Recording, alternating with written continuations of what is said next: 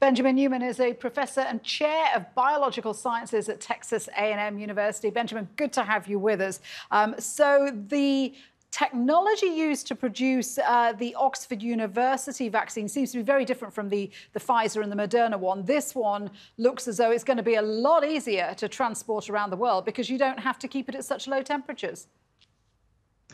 Yes, and this is a very positive thing. Um, the Oxford vaccine is actually made from the hollowed out shell of another virus. So it's not a live virus, it's not uh, dangerous in any particular way, but uh, it's just a little lump of protein with a bit of double stranded DNA inside, which to the average person doesn't necessarily mean much, but it's a very stable way that we can transport these things. Uh, and so uh, that shows. The other two leading candidates right now are messenger RNA type vaccines. And this is something which breaks down rather quickly in laboratory settings. It's something we have to be very careful when we're using, or else it just sort of disappears. So it's good to have some of these options because a solution is going to need to be rolled out to the entire world, including places where uh, refrigeration at very low temperatures is not possible.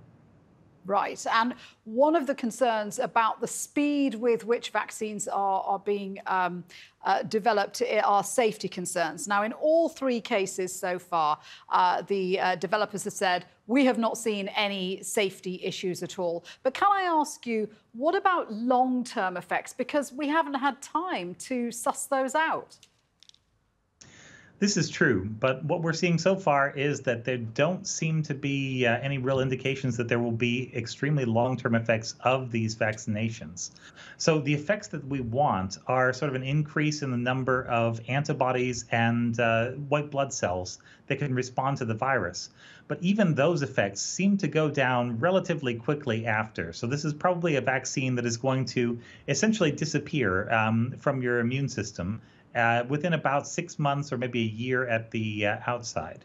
I think the other thing to point out here is the differences between some of the vaccines and how effective they are right now we're still early enough in each of the studies that the difference between a 68% effective rate and a 94 or a 92% is really just one or two people in a study that could really swing either way.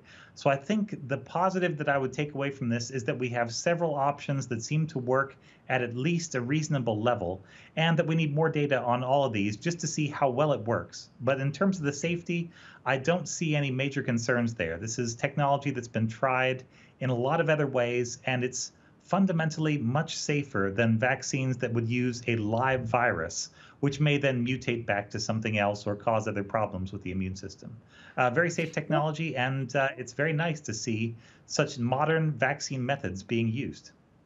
Yeah, I mean, it's incredible what has been developed in such a, a short space of time when normally this kind of thing takes years. Um, just one other question on, on, how this works. You were obviously talking about uh, the vaccine um, stimulates your immune system. What about people who've got compromised immunity? Are they going to be able to get protection from uh, COVID 19?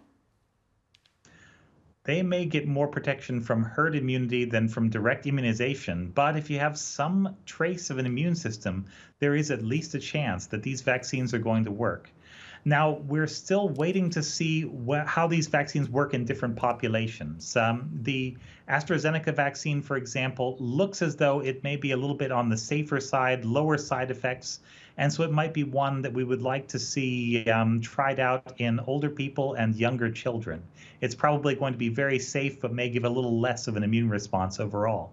Um, but there are other options uh, that are available out there. And I think ultimately having a combination of these things, where you would maybe get one vaccine in the spring and another in the fall, would probably be the best way to protect the most people once the vaccines are available. Benjamin, thank you very much indeed for that. Benjamin Neuman there in Texas.